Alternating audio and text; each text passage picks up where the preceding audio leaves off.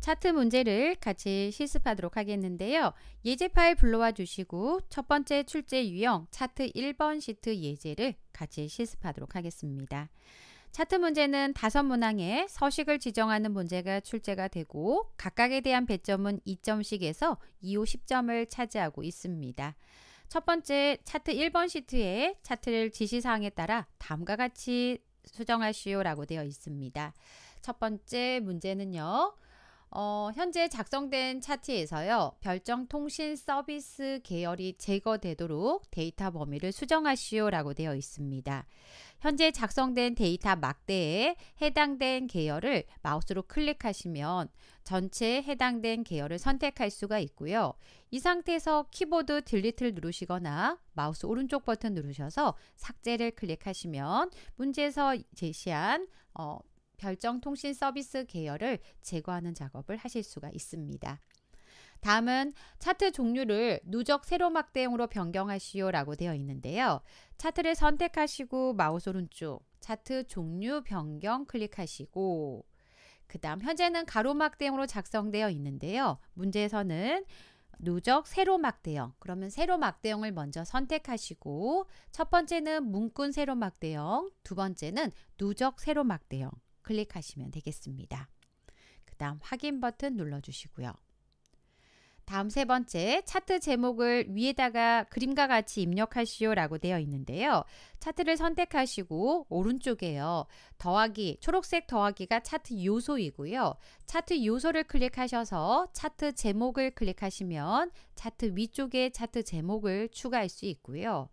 차트 제목을 마우스로 범위를 지정한 상태에서 문제 제시되어 있는 차트 제목 정보 통신 서비스별 세부 인력이라고 입력합니다. 그래서 범위를 지정한 상태에서 데이터를 입력하는 이유는요. 범위가 지정된 상태에서 데이터를 입력하면 차트 제목이라는 글자를 따로 지우지 않고 자동으로 지워지면서 데이터를 입력할 수 있어서 범위를 지정한 상태에서 데이터를 입력했습니다. 그래서 차트 제목에 대한 작업을 하셨고요. 다음 네 번째, 기간통신 서비스 계열의 기간통신 서비스 계열은 아래쪽 막대를 얘기하는 거고요. 어, 이 계열 안에서 2023 요소 하나만을 선택하고자 합니다. 처음에 클릭하시면 전체가 선택이 되고요. 다시 클릭하면 하나의 요소만 선택할 수 있고 요소에만 데이터 레이블 값을 표시하라고 되어 있는데요. 위치는 가운데라고 되어 있습니다. 하나의 요소가 선택된 상태에서 오른쪽 차트 요소를 선택하시고 데이터 레이블에 가셔서 가운데 맞춤 클릭하시면 선택 하나, 선택된 하나의 요소에 대해서 가운데 맞춤 서식을 적용할 수가 있습니다. 다섯 번째, 전체 계열의 계열 겹치기와 간격 너비를 각각 0으로 설정하라고 했습니다. 차트를 선택하시고요. 음, 그 다음 안쪽에 음, 특정 뭐 방송 서비스든 부가통신 서비스든 하나의 계열을 선택하시고 마우스 오른쪽 데이터 계열 서식을 클릭합니다. 화면 오른쪽에 데이터 계열 서식 창이 하나 표시가 되면요. 계열 겹치기를 문제에서 0, 간격 너비를 0으로 하라고 되어 있습니다. 그래서 각각 0으로 입력을 해 주시고요.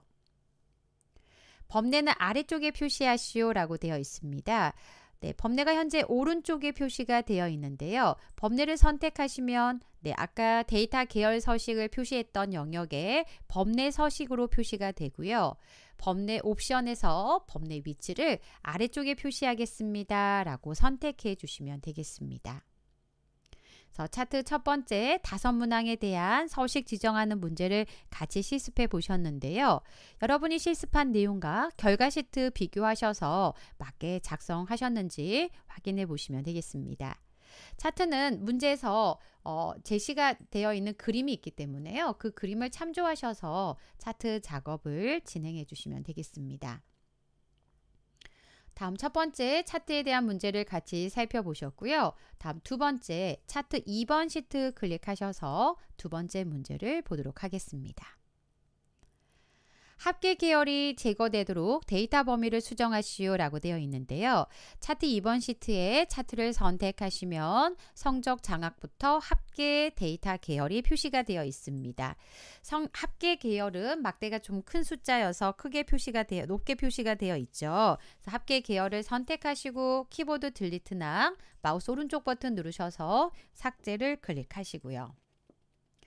다음은 차트 종류를 누적 가로막 대형으로 변경하시오 라고 되어 있습니다. 차트에서 마우스 오른쪽 차트 종류 변경 클릭하시고요. 가로막대를 선택하신 다음 그 다음 첫 번째가 문근 가로막대형이었는데 두 번째가 네, 누적 가로막대형 클릭해 주시면 되겠습니다. 그리고 확인 버튼 누릅니다. 다음 세 번째 차트 제목은 차트 위에라고 되어 있는데요. 차트 요소에 가셔서 차트 제목을 클릭하시고 차트 제목이라고 표시가 된다면 직접 차트 제목을 입력하지 않고 A1셀과 연동되도록 설정하시오 라고 되어 있으니까요.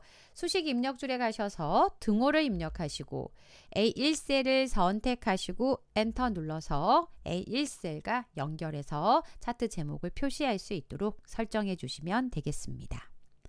다음 네 번째 근로장악 계열 음, 근로장학 계열은 회색 계열입니다. 선택하시면 세 개의 음, 요소가 한꺼번에 선택이 되고요. 데이터 레이블 값을 안쪽 끝에다가 표시하라고 되어 있습니다. 차트 요소에 가셔서 데이터 레이블에 가셔서요. 안쪽 끝에 선택하시면 근로장학 계열에 대해서 데이터 레이블을 표시할 수가 있습니다.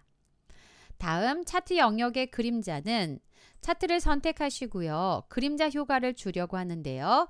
네, 선택하시면 앞에서 차트 1번에서 작업하셨던 음, 서식창이 표시가 되어 있고요. 이 상태에서 그림자 효과를 주고자 합니다. 라고 하시면 가운데 있는 효과를 클릭하시고 그림자를 클릭하신 다음 안쪽 가운데니까 미리 설정에 가셔서 안쪽에 가운데 클릭해 주시면 되겠습니다.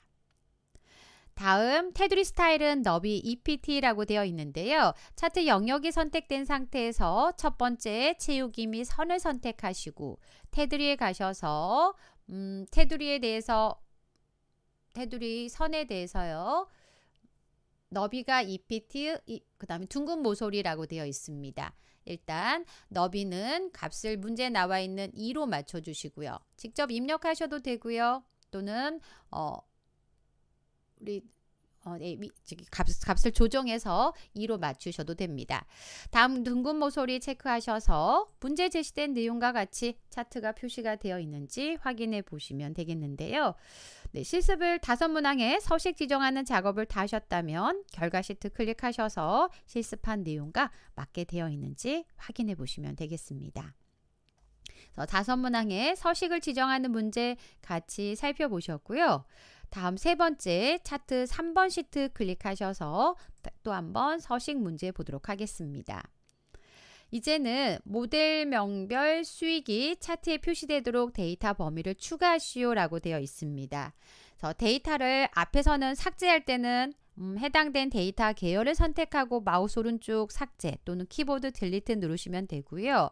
지금 예제는 데이터 범위를 추가하라고 되어 있습니다. 그래서 수익에 해당한 데이터 영역을 선택하시고 control C 눌러서 복사, 차트를 선택하시고 control V 눌러서 붙여넣기 합니다. 또는 control C, control V 하지 않고요. 음, 차트에서 마우스 오른쪽 데이터 선택에 가셔서 문제 제시된 영역만큼 다시 범위를 수정하셔서 음, 데이터 범위를 수익을 추가해 주셔도 됩니다. 첫 번째 서식에 대한 작업, 데이터를 추가하는 서식의 작업을 하셨고요. 다음 두 번째 수익 계열에 대해서 조금 전에 추가하셨던 수익 계열은 표식이 있는 꺾은선형으로 바꾸라고 되어 있습니다. 그래서 수시, 어, 수익 계열을 선택하고 마우스 오른쪽 계열 차트 종류 변경을 클릭하시면 혼합이 가장 왼쪽 아래에 있고요. 수익을 선택하신 다음 수익은 어, 화면을 제가 위로 좀 올려서 표식이 있는 꺾은 선형 선택합니다. 표식이 있는 꺾은 선형, 꺾은 선형에 표식이 있는 꺾은 선형은 첫 번째 줄의 네 번째. 그 다음 보조축으로 표시하라고 했으니까 어, 왼쪽에 있는 Y축이 아닌 오른쪽에 있는 Y축의 눈금을 확인할 수 있도록 보조축을 표시하겠습니다. 라고 체크해 주시고요. 확인 한번 누르십니다.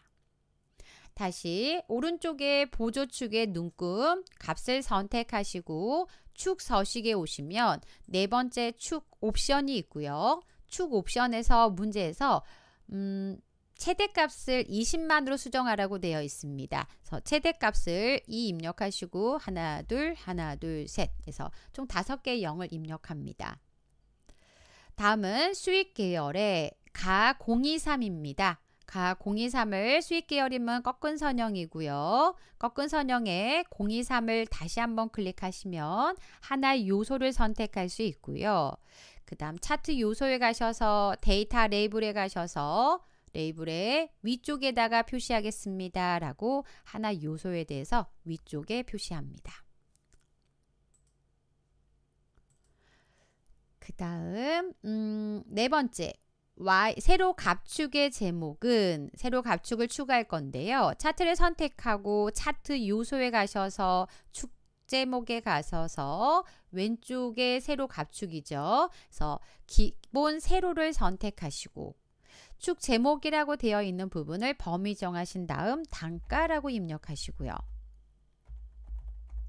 단가를 경계 라인을 클릭하신 다음 그 다음 가로 제목이라고 되어 있으니까 단가 세로 갑축의 제목을 선택하시고 축 제목 서식에 오셔서 우리는 크기 및 조정에 오셔서 텍스트 방향을 가로로 하겠습니다. 라고 선택하시면 되겠습니다. 다음은 차트 영역의 색 변경인데요. 차트를 선택하시고 어, 위쪽에 차트 디자인과 서식을 클릭하셔서 색 변경을 찾으시면 되는데 차트 디자인에 가셨을 때 색 변경을 찾을 수 있고요. 그 다음 단색 색상표에 5번이라고 되어 있습니다. 단색형에 하나, 둘, 셋, 넷, 다섯 번째 있는 단색 색상표 5를 마우스로 클릭하면 문제 제시한 다섯 문항의 서식 작업을 하셨고요. 제시된 그림과 여러분이 실습하신 그림 확인, 어, 차트를 확인해 보시고 또 우리는 실습 파일은 결과 시트를 클릭하셔서 여러분이 실습한 내용과 맞게 작성이 되어 있는지 확인해 보시면 되겠습니다. 세 문항의 차트 작성하는 문제. 실제 시험에서는 차트는 다섯 문항의 서식을 지정하는 문제가 출제가 되고 있습니다. 각각에 대한 배점은 2점씩에서 2, 5, 10점을 차지합니다. 차트 문제 살펴보셨습니다.